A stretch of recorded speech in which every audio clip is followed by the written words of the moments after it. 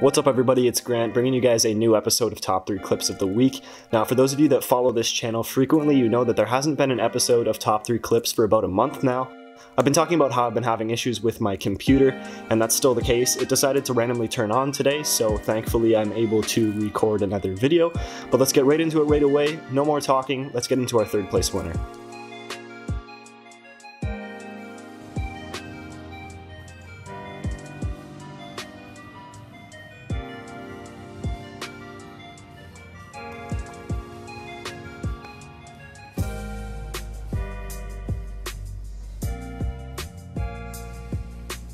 So our third place winner is Wangmann. He's a frequent on the series. If you have been following it, then you already recognize him.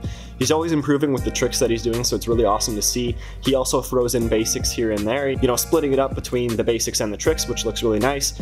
Does a palm spin, spins all the way around with the palm spin, super hard to do, throws the bo up in the air and then catches it. That was an awesome sequence, and again, that palm spin move is really hard to do. Let's get right into our second place winner now.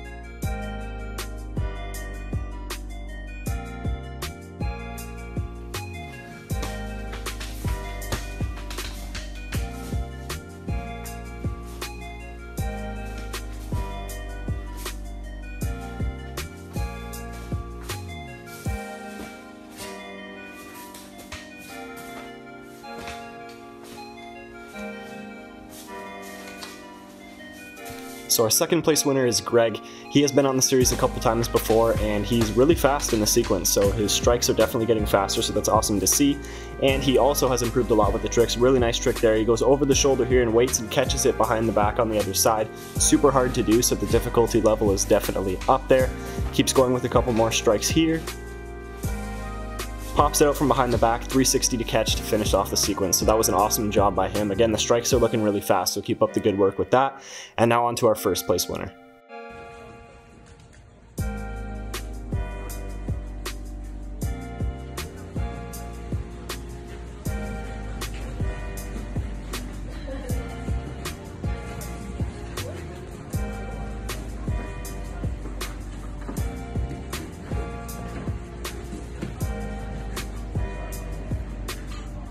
So our first place winner for this week is Harrison. Uh, as you guys just saw, super awesome sequence. Uh, one thing I wanted to point out specifically is that he does a really good job of speeding up in areas that people who are doing the bo normally speed down at. So for example, you know when you throw the bo up in the air and you catch it in your hand and then you go to put it behind the back, that's one of those spots where people tend to slow down on, but Harrison does a really good job of maintaining his speed in that, and that makes the overall sequence look really, really good. So he did a great job of that, and that really made, you know, obviously the rest of the sequence itself was awesome, but that really, you know, put the uh, put the icing on the cake, I guess is the phrase, and made the whole sequence look really, really good. So awesome job to Harrison, and congratulations on the first place win.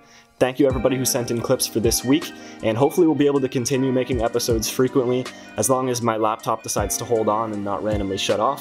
But hopefully you guys enjoyed the video, thank you guys for watching, and I'll see you in the next one.